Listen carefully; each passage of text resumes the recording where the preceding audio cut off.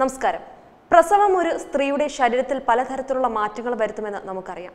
നമ്മുടെ ചുറ്റുപാടുകളിൽ ഉള്ളവരിൽ അത്തരം മാറ്റങ്ങൾ നമ്മൾ കണ്ടിട്ടുണ്ടാകും. എന്നാൽ കക്ഷത്തിൽ നിന്ന് മുലപ്പാൽ വരുന്ന അവസ്ഥ എവിടെയെങ്കിലും കേട്ടിട്ടുണ്ടോ? ഇത് കഥയല്ല. പോർച്ചുഗൽ തലസ്ഥാനമായ ലിസ്ബണിലാണ് സംഭവം. പ്രസവശേഷമാണ് ഇരുപത്തി ആറുകാരി യുവതിയുടെ വലതു കക്ഷത്തിൽ മുലപ്പാൽ ഉൽപ്പാദിപ്പിക്കപ്പെടുന്നതായി റിപ്പോർട്ട് ചെയ്തത്. പ്രസവശേഷം രണ്ട് ദിവസം കഴിഞ്ഞാണ് യുവതി തന്റെ വലതു കക്ഷത്തിൽ അനുഭവപ്പെടുന്ന വേദനയെക്കുറിച്ച് ഡോക്ടർമാരോട് പറയുന്നത്. വൈദ്യസംഘം നടത്തിയ പരിശോധനയിൽ യുവതിയുടെ കക്ഷത്തിൽ മാറിടത്തിന് സമാനമായ മാംസപിണ്ഡം കണ്ടെത്തി. ഇവിടെ നിന്ന് വന്ന ദ്രാവകം മുലപ്പാലാണെന്നും പരിശോധനയിൽ വ്യക്തമായി. പോളിമാസ്തിയ എന്ന അപൂർവ അവസ്ഥയാണ് ഇതെന്നാണ് ഡോക്ടർമാർ പറയുന്നത്. ശരീരത്തിൽ കൂടുതൽ ബ്രസ്റ്റ് ടിഷ്യൂ കാണപ്പെടുന്ന അവസ്ഥയാണിത്.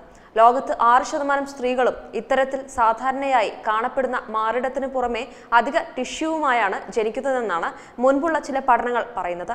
അപൂർവ സാഹചര്യങ്ങളിൽ ഇത്തരം അധിക മാറിടങ്ങളിൽ മുലക്കണ്ണ് ഉണ്ടാകുന്നത് സ്വാഭാവികമാണ്. നിപ്പിൾസ് ഇല്ലാതെ തന്നെ പാൽ പുറത്തേക്ക് വരുന്നതും അപൂർവമാണ്. അത്തരമൊരു കാര്യമാണ് ഇവിടെ സംഭവിച്ചിരിക്കുന്നതെന്നാണ് ആരോഗ്യ വിദഗ്ധർ പറയുന്നത്. ഗർഭപീഠത്തിന്റെ വികാസത്തിനിടയിലാണ് ഈ അവസ്ഥ സംഭവിക്കുന്നത്. സസ്തനഗ്രന്ഥികളിലേക്കുള്ള കോശങ്ങൾ സസ്തനഗ്രന്ഥം അല്ലെങ്കിൽ പാൽവര എന്നതിലൂടെ രൂപം കൊള്ളുന്നു. ഇത് കക്ഷത്തിൽ നിന്ന് ശരീരത്തിന്റെ ഇരുവശങ്ങളിലുമുള്ള ഞരമ്പിലേക്ക് നീങ്ങുമെന്ന് രണ്ടായിരത്തി പതിനാലിൽ പ്രസിദ്ധീകരിച്ച അമേരിക്കൻ ജേണൽ ഓഫ് റോയിനോളജിയിൽ പറയുന്നു. സാധാരണയായി ഈ ഞരമ്പുകൾ സ്തനം ഒഴികെ എല്ലായിടത്തും അപ്രത്യക്ഷമാകും. എന്നാൽ ഇത് സംഭവിക്കാതിരിക്കുമ്പോൾ ശരീരത്തിൽ അവശേഷിക്കുന്ന സ്തനകലകൾ അവശേഷിക്കുന്നു.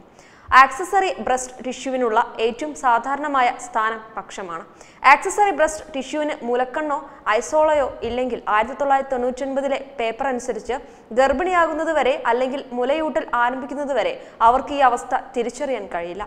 ഈ സമയത്ത് പാൽ സാധാരണ സ്ഥാനങ്ങളിലേക്ക് എന്നതുപോലെ ആക്സസറി ബ്രസ്റ്റ് ടിഷ്യൂവിലേക്ക് വരുന്നു.